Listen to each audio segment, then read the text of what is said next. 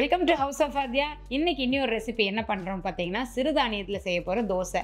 இது சாமை லிட்டில் மில்லட்டுன்னு சொல்கிற சிறுதானியத்தை யூஸ் பண்ணி அரிசியெல்லாம் இல்லாமல் செய்கிற சிம்பிளான ஒரு பிரேக்ஃபாஸ்ட் ரெசிபி சிறுதானிய தோசை. வாங்க எப்படி பண்ணணும்னு பார்க்கலாம். இந்த சிறுதானிய தோசை செய்கிறதுக்கு சாமை ரெண்டு கப் எடுத்துக்கலாம்.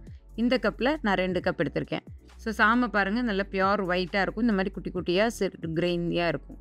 அதுக்கப்புறம் வெள்ளை உளுந்து இது அரை கப் ரெண்டு கப் சாமைனா அரை கப் உளுந்து இது அரிசி ரேஷியோ மாதிரியே தான் வரும். அப்புறம் வெந்தயம் ஒரு ஹாஃப் டீஸ்பூன் எடுத்துக்கலாம். ஸோ இவ்வளோ தான் நார்மலாக நம்ம தோசை கிடைக்கிற அதே ப்ரொப்போர்ஷன் தான். நான் அரிசிக்கு பதிலாக மில்லட் யூஸ் பண்ணுறோம் ஸோ இப்போ இந்த சிறுதானியத்தை நம்ம நல்லா கழுவிட்டு ஊற வச்சுக்கலாம். ஒரு மூணு மணி நேரம் ஊறிச்சுன்னா போதும். நல்லா உங்களுக்கு சாஃப்டாக அரைக்கிறதுக்கு ரெடி ஆயிரும். அப்புறம் உளுந்து அதுவும் ரெண்டுலேருந்து மூணு மணி நேரம் ஊறினா போதும். கொஞ்சம் வெந்தயமும் சேர்த்து நம்ம இதில் ஊற வச்சுக்கலாம். ஸோ த்ரீ ஹவர்ஸ் ஊற வைங்க அப்புறமா மிக்சியில் அரைக்க போகிறோம் கிரைண்டர் தான் வேணும்லாம் அவசியம் இல்லை. சாதாரணமாக சிறுதானிய தோசை செய்யும்போது நீங்கள் நிறைய போட்டு செய்யாமல் கம்மியாக நீங்கள் செய்யணுன்னாலும் செஞ்சுக்கலாம். ஸோ அதனால நம்ம மிக்சியில் தான் நான் இன்றைக்கி உங்களுக்கு எப்படி அரைக்கணும்னு காமிக்கிறேன். ஸோ இப்போ ஃபஸ்ட்டு உளுந்து வெந்தயம் இது ரெண்டும் மூணு மணி நேரம் ஆனதுக்கப்புறம் கழுவி தண்ணி எடுத்துட்டு இதை நம்ம மிக்ஸி ஜாரில் போட்டு நல்லா நைஸாக அரைச்சி எடுத்துக்கலாம். நல்லா உங்களுக்கு நைஸாக பேஸ்ட் மாதிரி வந்துச்சுனாலே போதும். தோசைங்கிறனால உங்களுக்கு நல்ல கிறிஸ்பியான தோசையாகவும் இது கிடைக்கும். கொஞ்சமாக தண்ணி தேவையான அளவு விட்டு உளுந்த நல்லா ஃபைன் பேஸ்ட்டாக அரைச்சி எடுத்துக்கோங்க. ரொம்ப ஈஸியாக இருக்கும் இந்த தோசை ப்ரிப்ரேஷன் அரிசி மாவில் செய்கிறத விட சிறுதானியத்தில் செய்கிறது easy at the same time health பெனிஃபிட்ஸும் பார்த்தீங்கன்னா அரிசியை விட சிறுதானியத்தில் ஜாஸ்தி இருக்குது பாருங்க இப்போ நம்ம உளுந்து அரைச்சி எடுத்தாச்சு.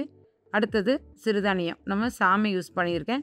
சாமை இல்லை அப்படின்னாலும் நீங்கள் வரகு யூஸ் பண்ணலாம் குதிரைவாளி யூஸ் பண்ணலாம் திணை யூஸ் பண்ணலாம் எது வேணாலும் நீங்கள் மாற்றி யூஸ் பண்ணுங்கள் ஸோ இப்போ இதையும் நம்ம அரைச்சிக்கலாம். இது நல்லா மூணு மணி நேரம் ஊறினதுனால உங்களுக்கு குயிக்காக இது நல்லா அரைஞ்சு வந்துடும் ஸோ இதில் சாமையில் இருக்கிற பெனிஃபிட்ஸுன்னு பார்த்தீங்கன்னா இதில் நார்ச்சத்து நிறையா இருக்குது எஸ்பெஷலி டயபெட்டிக் பீப்புளெலாம் வந்து அரிசி தோசை டெய்லி சாப்பிடணுமான்னு கில்ட்டாக ஃபீல் பண்ணுறவங்க இந்த மாதிரி சிறுதானிய தோசையை வாரத்தில் ஒரு நாள் ரெண்டு நாள் கண்டிப்பாக நீங்கள் சேர்த்துக்கலாம்.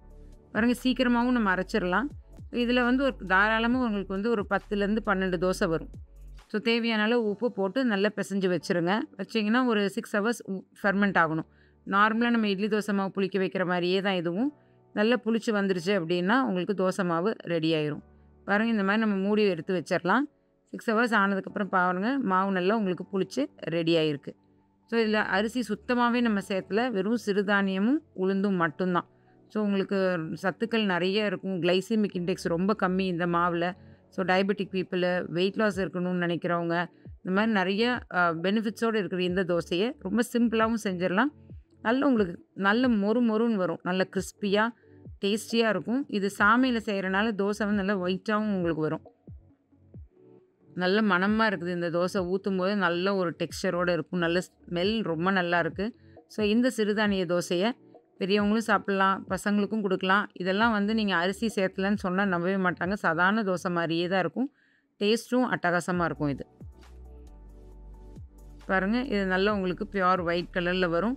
இல்லை உங்களுக்கு கொஞ்சம் கோல்டன் ப்ரௌன் கொஞ்சம் நேராக நேராக ஃபஸ்ட்டு தோசை இப்படி இருக்குது அடுத்த தோசையெல்லாம் பாருங்கள் நல்லா கோல்டன் கலரில் வர ஆரம்பிச்சிரும். ஸோ உங்களுக்கு பசங்களுக்கெல்லாம் கண்டிப்பாக நீங்கள் இதில் அரிசியில் செய்யலை சிறுதானியத்தில் தான் செஞ்சுருக்கீங்கன்னு கண்டிப்பாக நீங்கள் சொல்லவே முடியாது. அந்தளவுக்கு அருமையாக இருக்கும் இந்த சிறுதானிய தோசை. கண்டிப்பாக வீட்டில் செஞ்சு பாருங்கள் இதுக்கு பெஸ்ட்டு காம்பினேஷன் பார்த்திங்கன்னா ஸ்ப ஸ்பைசியான கார சட்னி. ஸோ கார சட்னி வச்சு இந்த தோசையை செஞ்சு வீட்டில் இருக்கவங்க எல்லாத்துக்கும் கொடுங்க. ரெகுலராக அரிசி தோசையை விட இந்த மாதிரி வாரத்தில் ஒரு நாள் இல்லை ரெண்டு நாள் நம்ம சிறுதானியங்களும் நம்மளோட ரெகுலர் ஃபுட்டில் இன்கார்ப்ரேட் பண்ணுங்கள் கண்டிப்பாக ஹெல்த்தியான லைஃப் லீட் பண்ணுறதுக்கு இது ஒரு சூப்பரான ரெசிபி செஞ்சு பார்த்துட்டு எப்படி வந்துச்சுன்னு எனக்கு கமெண்ட் செக்ஷனில் சொல்லுங்கள் தேங்க்யூ